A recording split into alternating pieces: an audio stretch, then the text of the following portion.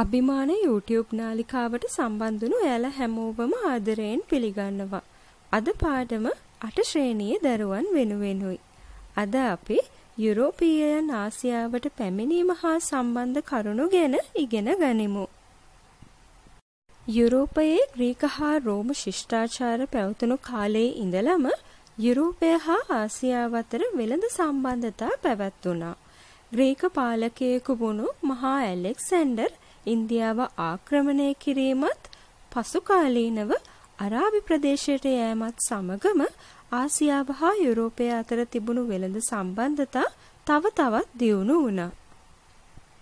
Greek ශිෂ්ටාචාරය ක්‍රමයෙන් පරිහානියට පත්වෙලා රෝම ශිෂ්ටාචාරය යුරෝපයේ ගොඩනැගුණු කාලයේදීත් ආසියාව සමග තිබුණු වෙළඳ සම්බන්ධතා පෙර ලෙසම පැවතුණා.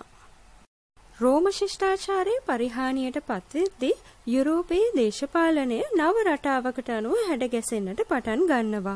කලින් තිබුණු අධිරාජ්‍යවාදයේ ස්වරූපය ඉවත් වෙලා එක් එක් ප්‍රදේශ මුල් කරගෙන වෙන වෙනම රාජ්‍යයන් බිහි වෙනවා. මේ රාජ්‍යයන්වල පාලකයන් ඒ වගේම රදලයන්ගේ ප්‍රධානත්වයෙන් තමයි පාලන කටයුතු සිද්ධ වුණේ. රදලයන්ට අයිති වී තිබුණු ඉඩම්වල වගා කටයුතු සිදු කළේ සාමාන්‍ය ජනතාවයි. මෙය හැඳින්වෙන්නේ වැඩවසම් ක්‍රමය වශයෙන්ුයි. වැඩවසම් ක්‍රමයට අනුව යුරෝපයේ ක්‍රියාත්මක වුණු කාලයේදී මැද පෙරදිග ඒ වගේම ආසියාවේ සමහර ප්‍රදේශවල මුස්ලිම් වෙළඳ බලය ව්‍යාප්ත වෙනවා. මේ තත්ත්වයේ ප්‍රතිඵලයක් විදිහට අරාබිය, පර්සියාව, මිසරය වගේ රටවල් වලින් ආපු මුස්ලිම් වෙළෙන්දන් ආසියාව හා යුරෝපය අතර වෙළඳ අතරමැදියන් විදිහට කටයුතු කරනවා. මුස්ලිම් වෙළෙන්දන් වෙළඳාමට අවශ්‍ය කරන වෙළඳ ද්‍රව්‍ය රුවල් නැව් යොදාගෙන ආසියාතික රටවල් වලින් එකතු කළා. මේ වෙළඳ ද්‍රව්‍ය අපි කලින් පාඩමකදී ඉගෙනගත්ත වෙළඳ මාර්ග හරහා කොන්ස්තන්තිනෝපල් වරායට ගෙනාවා. අපි දැන් බලමු ආසියාවෙන් යුරෝපයට ගෙන ගිය වෙළඳ ද්‍රව්‍ය මොනවද කියලා. චීනයෙන් සේදරෙදි, සුවඳ විලවුන්, පිඟන් භාණ්ඩ ජපානයෙන් රිදී. ශ්‍රී ලංකාවෙන් මුතු මැණික් කුළුබඩු ඇතුන් ඇත්තත් වගේ දේවල්. ජාවා සුමත්‍රා හා බෝනියෝ වගේ දූපත් වලින් කරාබු නැටි කරදමුංගු සාදික්කා.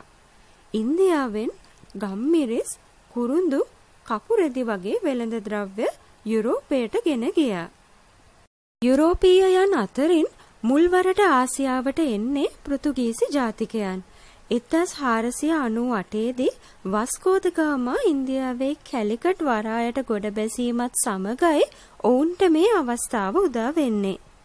වස්කෝද ගාමා විශාල වස්තු සම්භාරයක් සමග නැවතත් පෘතුගාලයට පැමිණෙනවා. මේ පිළිබඳව පෘතුගාල රජතුමා ඉමහත් සතුටට පත්වෙනවා. ආසියාව සමග දිගින් දිගටම වෙළඳ සම්බන්ධතා පවත්වා ගත හැකිනම් අතිවිශාල ලාභයක් උපයාගත හැකි බව රජතුමාට පෙනී යනවා. පෘතුගීසීන් මුලින්ම ඉන්දියාවේ වෙරළබඩ රාජධානි සමග සම්බන්ධතා ඇති කර ගන්නවා. පසුකාලීනව ඔවුන් ලංකාවට ඇවිල්ලා කෝට්ටේ රාජධානිය සමග සම්බන්ධතා ගොඩනගා ගන්නවා. පෘතුගාලයේ ඉඳලා ආසියාවේ වෙළඳ කටයුතු මෙහෙයවීම දුෂ්කර වුණු නිසා පෘතුගීසීන් ඉන්දියාවේ ගෝව නගරය අල්ල ගන්නවා. ඔවුන් එම නගරය පෙරදිග පෘතුගීසි මධ්‍යස්ථානයේ බවට පත්කර ගන්නවා. පෘතුගීසීන් ආසියාවට ඇවිල්ලා වසර 100කට ආසන්න කාලයක් යනතුරුම ලන්දේසීන්ට ආසියාවට එන්න හැකියාවක් ලැබෙන්නේ නැහැ.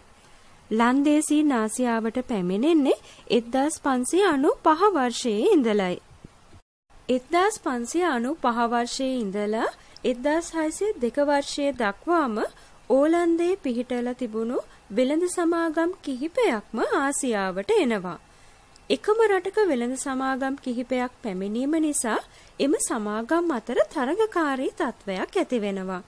ඒ වගේම ඒවා කුඩා සමාගම් වීම නිසා ආසියාවේ ප්‍රදේශ අත්පත් කරගන්න වගේම පෘතුගීසි තර්ජනවලට මුහුණ දෙන්න ලන්දේසීන්ට අපහසු වෙනවා. මේ බව තේරුම් ගත්ත ලන්දේසි පාලකයා 1602 වර්ෂයේදී වෙළඳ සමාගම් කිහිපයක්ම එකතු කරලා පෙරදිග ඕලන්ද වෙළඳ සමාගම පිහිටුවනවා. ලන්දේසින් Tamanගේ පෙරදිග මූලස්ථානයේ පිහිටුවා ගත්තේ අග්නිදිග ආසියාතික ප්‍රදේශයක් වුණු බතාවියේයි. 17 වන සියවස මැද භාගය වන තෙක්ම පෘතුගීසි වෙළඳ ආධිපත්‍යය Taman වෙතට ලබා ගන්නට ලන්දේසීන් කටයුතු කළා.